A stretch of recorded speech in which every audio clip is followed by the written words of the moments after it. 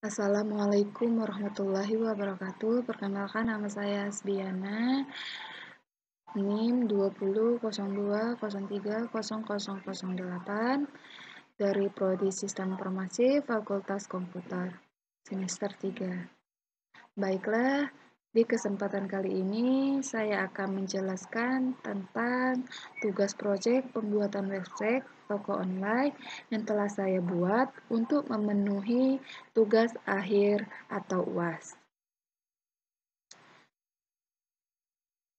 Dalam mata kuliah pengantar basis data, dosen pengampu Pak Joni Karman Magister Komputer. Di video ini saya akan memperlihatkan saya akan memperlihatkan hasil website toko online yang saya buat. Sebelum saya memasuki video saya, saya akan mengenalkan apa saja yang, dibu yang diperlukan untuk membuat sebuah website toko online tersebut. Di sini kita akan memakai exam, kita memakai exam, Sublime Text, sama Google Chrome. Google Chrome. Fungsi, fungsi exam di sini untuk web server, kemudian fungsi Sublime Text untuk web editor dan fungsi fungsi Google Chrome untuk web browser. Baiklah, di sini kita akan kembali ke examnya. Kita hidup, kita stopkan dulu terlebih dahulu.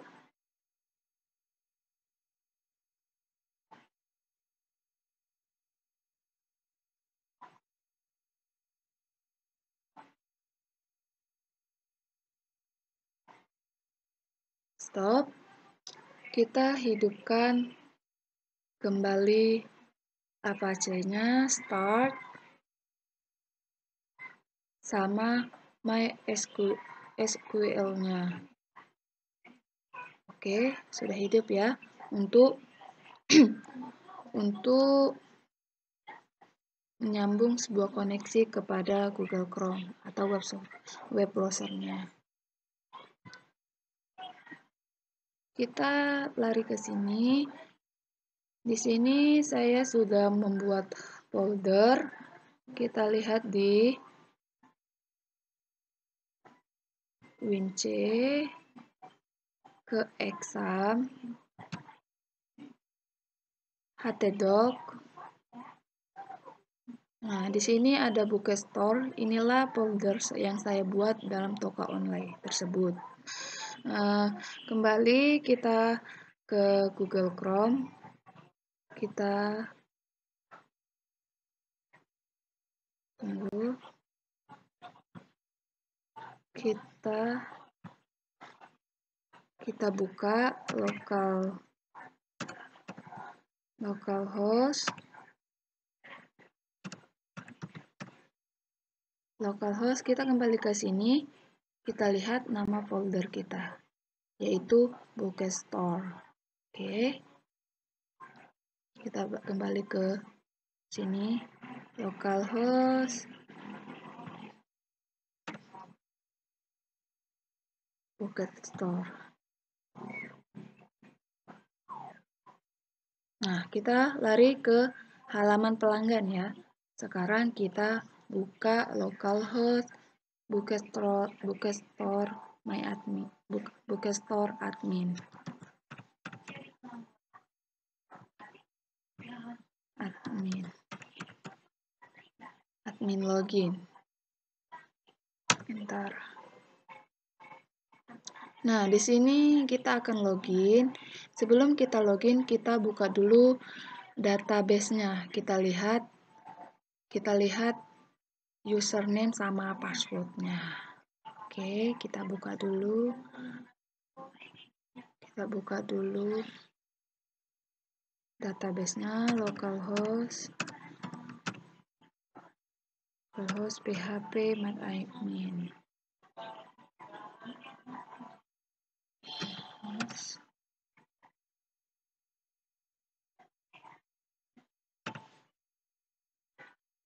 Mm-hmm.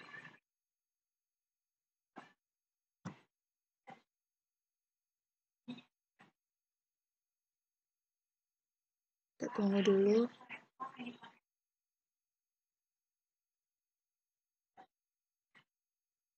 lemot ya.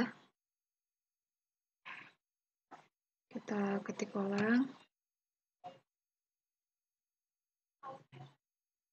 Lokal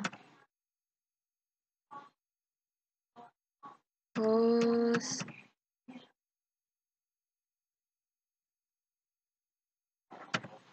buket. Host php my admin. Ini ya.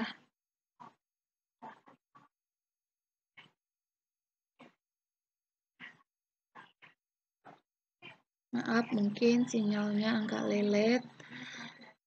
Di sini kondisinya lagi hujan. Mungkin kendalanya di sinyal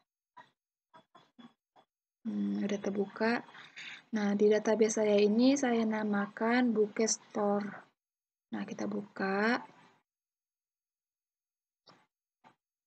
Kita klik.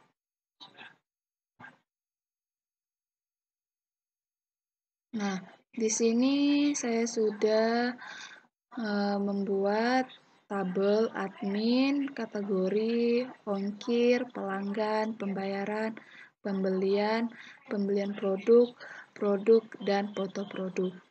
Di dalam tabel ini semuanya sudah ada isi. Nah, nanti saya jelaskan satu persatu. Kita buka dulu yang buka dulu tabel adminnya. Nah, di sini ada ID admin, username, password, password sama nama lengkap. Nah, di sinilah kita mengambil username sama passwordnya.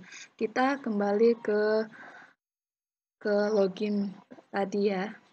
Nah, di sini kita sudah tahu namanya Bukit Store dan passwordnya 1 sampai 5. Login. Login sukses ya. Nah, kita sudah masuk ke adminnya, ke halaman adminnya. Di sini sudah ada home, kategori, produk, pembelian, laporan pelanggan atau logout. Nah, di kategori di kategori ada di kategori ada lemari ruang keluarga. Nah, kita lihat ini di database-nya nanti. Nah, di sini juga ada aksi. Nah, di, di ada aksi itu ada ubah dan juga hapus. Dan tambah data. Oke, kita skip dulu, kita ke produk. Di produk ini kita sudah membeli banyak sekali barang ya. Nah, di sini kita bisa di sini kita juga bisa menghapus, mengedit sama detail dan juga bisa menambah produk. Misalnya kita mau tambah produk. Nah, coba kita pencet detail. Nah, di sini sudah ada kategori produk, harga, berat, deskripsi, sama stok. Oke, kita simpan dulu.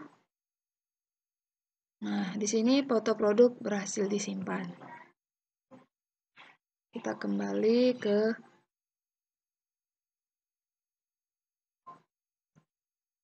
ke sini. Nah, kita tambah produk aja ya, kita buktikan. Hmm, sini.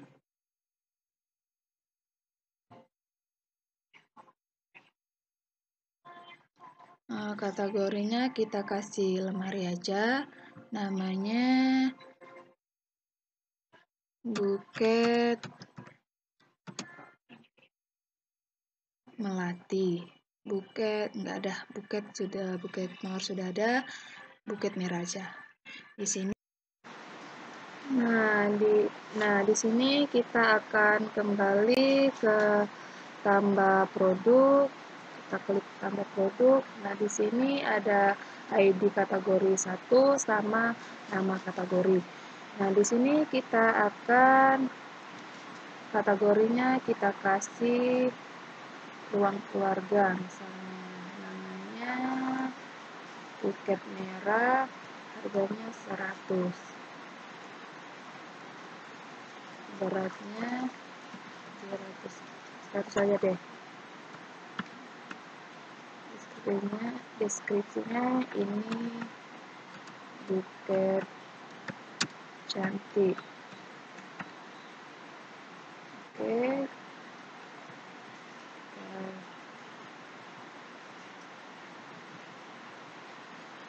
Kita ke fotonya.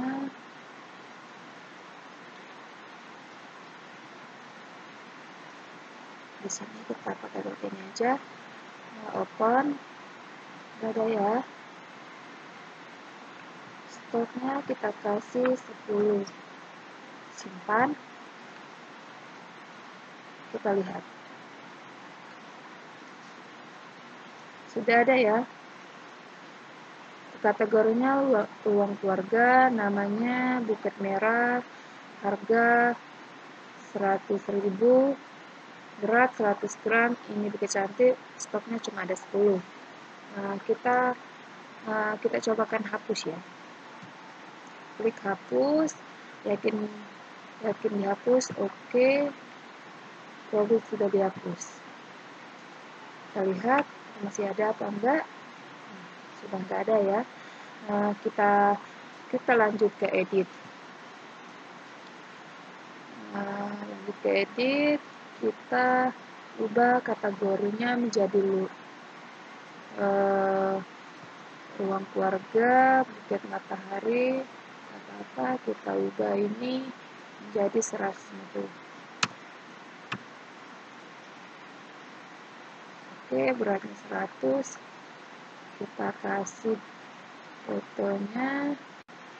Matahari open. Ini terlalu jauh jaraknya. Stop kita kasih delapan aja klik simpan data produk telah diubah oke kita lihat. Ini. Kategorinya sudah dirubah menjadi lemari buket matahari RP nya 150 beratnya 100 gram ini buket cantik stoknya cuma ada 8 kita kembali ke produk. Nah kita ke data pembelian di sini ada nama pelanggan tanggal situs pembelian total sama aksi di dalam aksi ada detail sama pembayaran kita lihat ya siapa saja yang beli di sini tertera ada nama Periha sama Alan dan Situs pembeliannya juga sudah dikirim pembayaran, lunas, pending. Kebanyakan di sini pending sama sudah kirim pembayaran. Oke, nanti kita jelaskan lagi masalah data pembelian, kita ke kita ke laporan dulu. Nah, di sini ada laporan pembeli, pembelian dari tanggal sekian ke tanggal sekian. Kita coba dulu. Misalkan kita belinya tanggal 7 Januari 2022 sampainya tanggal 12 Januari 2022. Kita pilih situsnya. Kalau kita milih situs lunas, lihat laporan. Nah, di sini yang lunas adalah pelanggan Pariha tanggal pemesanan tanggal 7 Januari 2022 jumlahnya 160 statusnya lunas nah ada juga di sini barang di barang dikirim laporan nah di sini ada juga ya tetap pariha dia mesan tanggal 8 Januari 2022 jumlahnya 100 10 barang dikirim. Oke, kita lihat yang satunya lagi batal. Nggak ada ya, nggak ada barang yang batal. Oke, kita ke pelanggan.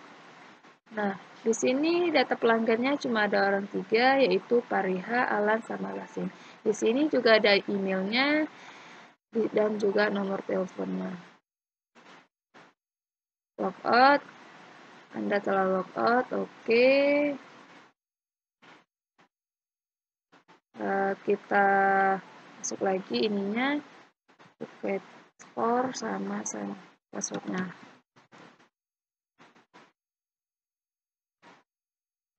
Oke, kita kembali ke database.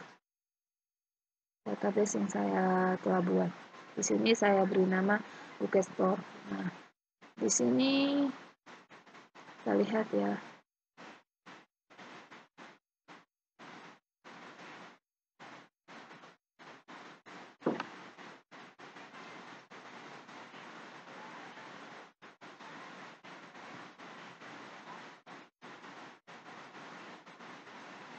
Admin, di dalamnya ada ID admin, username, password, dan nama lengkap.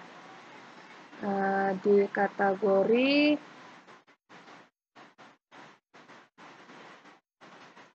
di kategori ada ID kategori, nama kategori, uh, ongkir,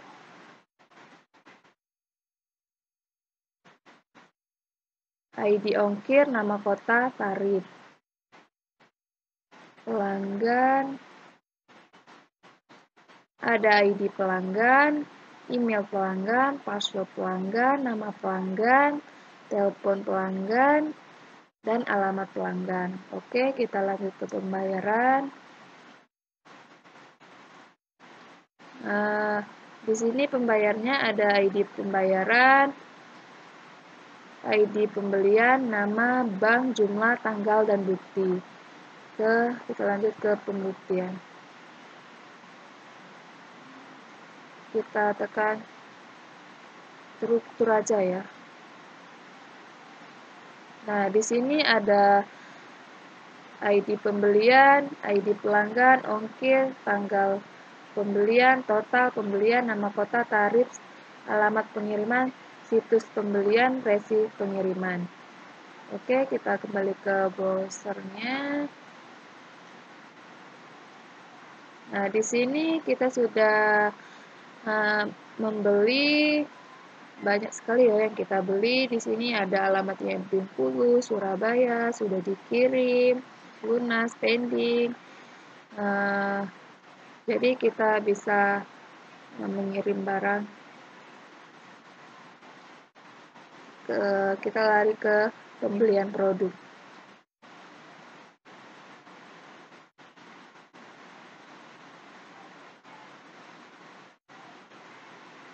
Nah, di pembelian produk ada pembelian ada ID pembelian produk, ID pembelian, ID produk, jumlah, nama, harga, berat, sub berat dan sub harga. Nah, dalam isi tabel pembelian produk. Kita klik produk, kita lihat isi tabel produk.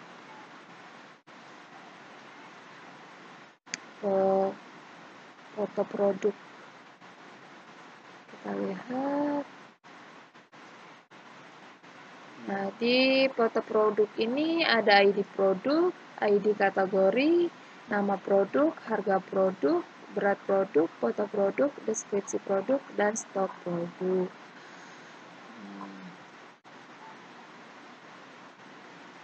Di sini ada nama produk yaitu jual ini produk buket-buket yang saya jual ini harganya dan ini deskripsinya.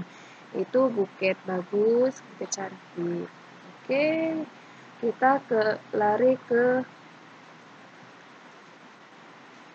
kita lari ke pelanggan halaman pelanggan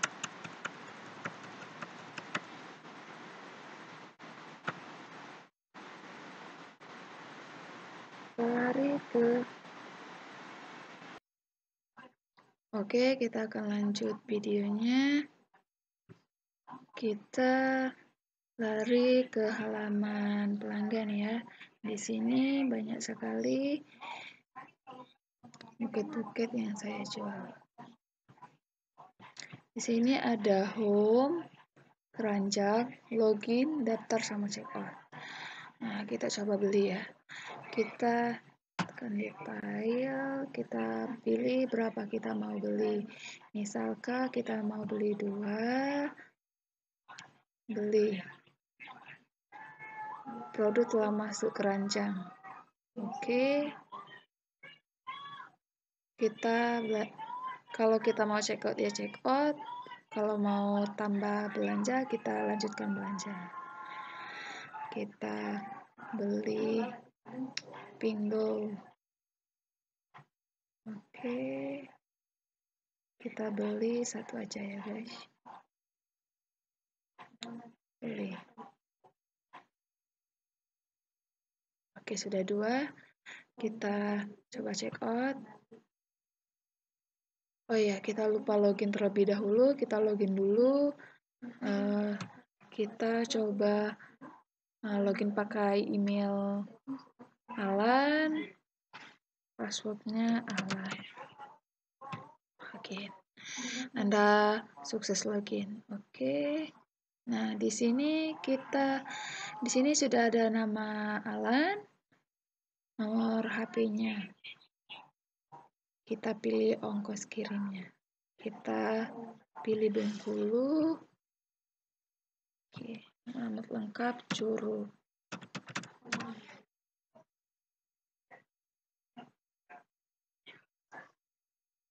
Oke, maaf. Curug, curug itu. Sudah itu kita check out. Pembelian sukses. Oke, udah ada ya. Ini detail pembeliannya. Ada nomor nomor pembeliannya, nama pelanggannya juga ada, emailnya juga ada, pengirimannya juga jelas, yaitu Bengkulu, ongkos kirimnya 10.000, alamatnya Curug. Oke. Oke, kita lihat riwayat belanja. Uh, opsinya ada nota sama input pembayaran. Kita klik ya. Nah, di sini di sini ada konfirmasi pembayarannya. Nah, total tagihannya adalah 460.000. Di sini nama meternya kita coba Ana Bank BR, BRI jumlah 400 salah. 460 ribu.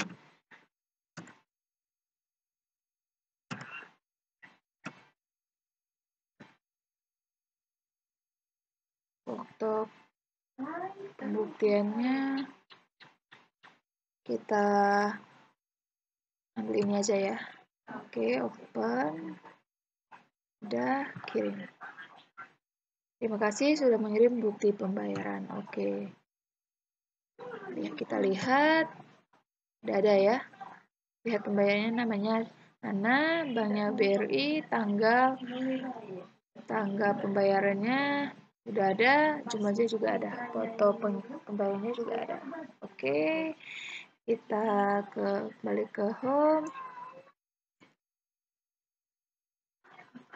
Kita coba cari di sini. Kita cari pink.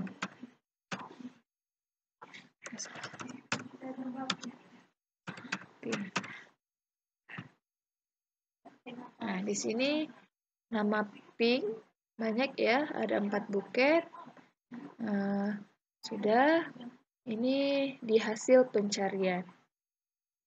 Kita kembali ke daftar. Nggak apa-apa itu. Ke home. Kita kembali ke kita coba select dulu. Oh ini kita sudah belum belanja. Kita ke home kita kembali ke admin PHP, indeks PHP.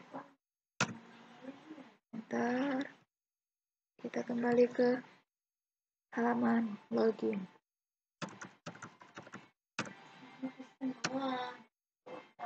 Login. Kita masuk lagi. Ini satu dua tiga empat lima. Oke. Nah di Nah, di data pembelian ini kita bisa lihat pembayaran kita. Kita coba lihat. Nah, kita lihat yang pembayaran. Nah, ini sudah ada ya. Kita tinggal kasih nomor resinya. Ini misal ke situsnya lunas misal ke proses data pembelian terupdate. Oke, kita lihat. Nah, di sini situs pembeliannya berubah menjadi lunas.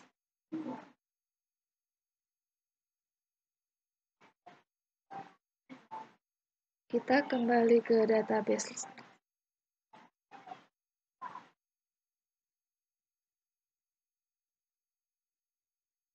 Oh ya, kita coba buka riwayat PHP dulu.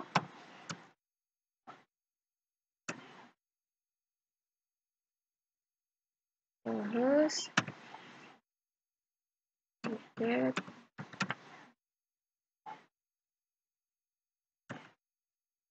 sektor, riwayat, buka riwayat PHP. Nah,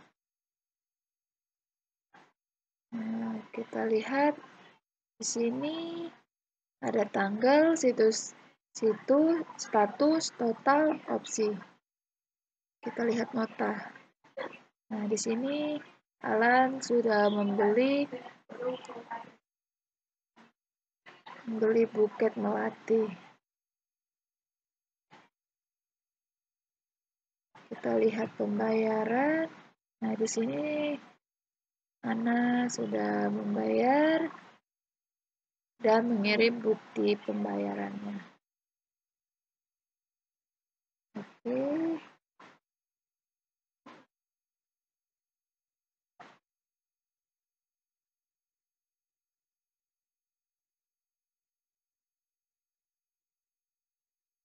Kita lihat dulu.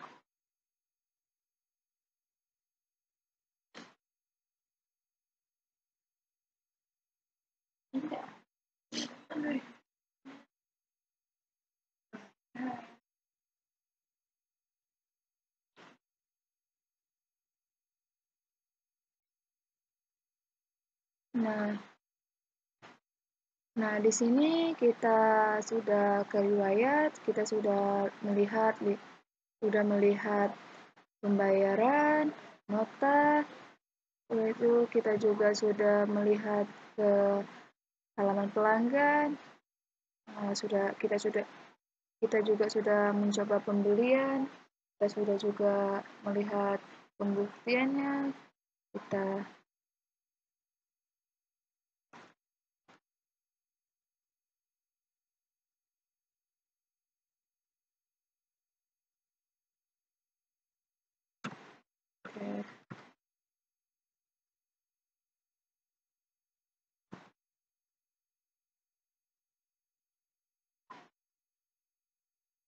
kita juga sudah menjelaskan home, kategori, produk, pembelian, laporan, pelanggan, dan logout.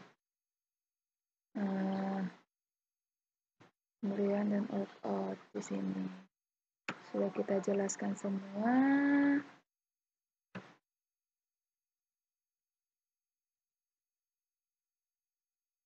Nah, PHP kita buka database-nya dulu.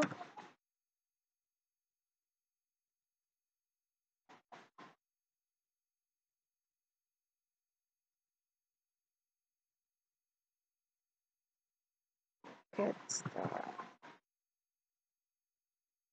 Udah lengkap ya. Sudah ada semua, sudah saya jelaskan satu persatu juga. Mungkin mungkin itu saja yang dapat saya sampaikan. Yang dapat saya sampaikan.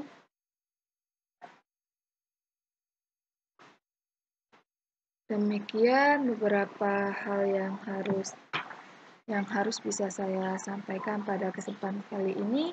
Saya mohon maaf yang sebesar-besarnya apabila ada tutur kata maupun tindakan yang kurang berkenan bagi Bapak dan teman. Semoga dalam penyampaian tentang pembuatan website toko online tersebut bisa bermanfaat bagi kita semua, bagi teman-teman juga, dan bagi kalangan yang belum mengerti tentang toko online. Dan juga bisa dipelajari di rumah. Saya akhiri. Wabila taufik wal hidayah. Wassalamualaikum warahmatullahi wabarakatuh.